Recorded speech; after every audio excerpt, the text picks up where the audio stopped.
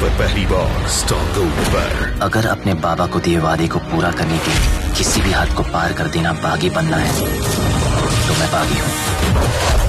अगर अपने भाई की जान बचाने के लिए अपनी जान पे खेल जाना बागी बनना है तो मैं बागी हूँ।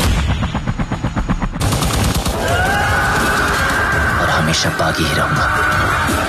बागी थ्री चलता रहा है सिर्फ़ स्टॉक गोल्ड